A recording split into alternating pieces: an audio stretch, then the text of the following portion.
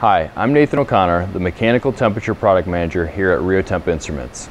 We're out on the factory floor where we make all of our bimetal thermometers, and today I want to talk about our dual mode thermometer.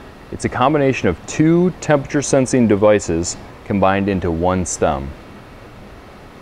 The first thing to know about the dual mode thermometer is that it has a variety of customization options, including sanitary connections. Now let's talk about the components of the DMT. The first temperature sensor is a bimetal thermometer. It uses a bimetal coil to determine the temperature and gives a local reading. This allows a passerby to check the instrument at the physical location. The second temperature sensor is either an RTD or thermocouple, which provides a remote electrical reading back at the control room.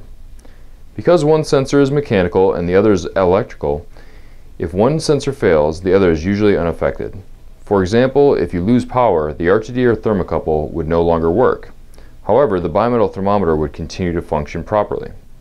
Now consider what would happen if the stem of the DMT was bent. The bimetal thermometer would be damaged, but the RTD or thermocouple would continue to function.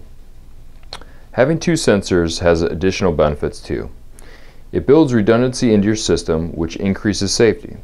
And the dual mode thermometer also acts as an informal calibration check, allowing you to compare two temperature readings at the same process location. Finally, our engineers have been able to pack in this added functionality without increasing the stem diameter. So they are still available in the standard quarter inch and 3 8 inch diameter. This makes it easy to replace an existing thermometer, RTD, or thermocouple with a dual mode thermometer. For more information on this and other REOTEMP products, visit reotemp.com.